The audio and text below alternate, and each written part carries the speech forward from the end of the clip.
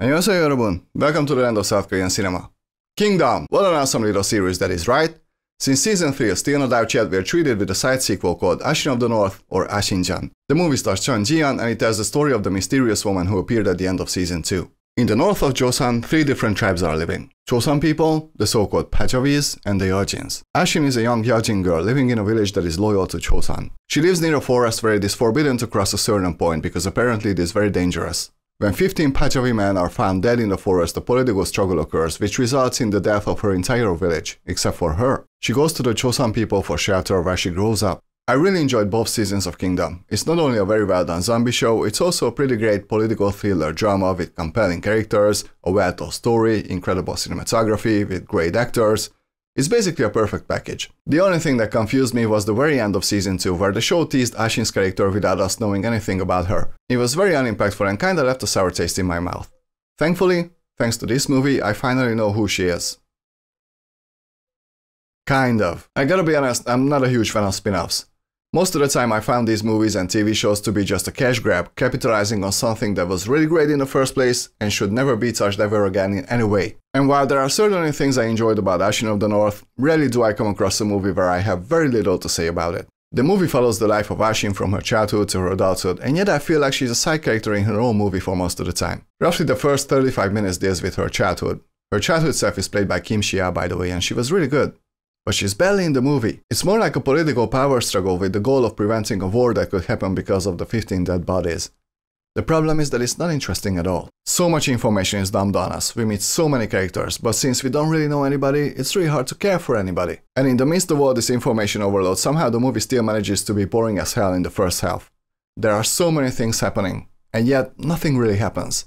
I know that it sounds strange, but it's true. I was bored out of my mind in the first half, and things didn't really get much better later as well. This movie is basically the complete opposite of the Kingdom series.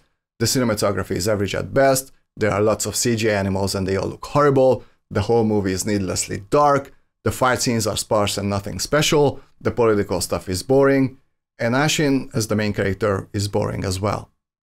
That's the biggest problem. Look, I appreciate the fact that now at least I know where she's coming from. The problem is that she's not a compelling character.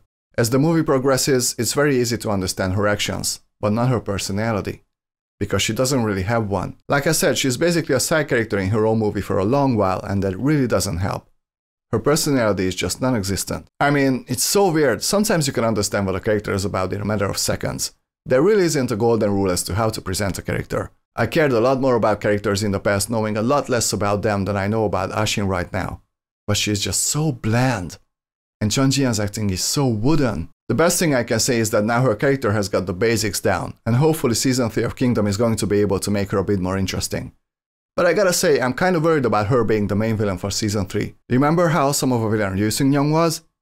He's gonna be hard to beat. But to say some good things as well, thankfully some zombies also show up, and at least those scenes are fun to watch but they're absent for much of the movie, so if you wanna watch Ashin of the North because of them, you'll be massively disappointed. But the zombies were fun. The set designs and the costumes were great too. The sets looked rugged and felt lived in. It all seemed really authentic. Also, the ending of the movie deepens the main story a bit when it comes to the flower that is able to bring the dead back to life. There's a little connective tissue to the very beginning of season 1, which I thought was pretty clever. But honestly, if you just wanna watch season 3, you can totally skip this movie.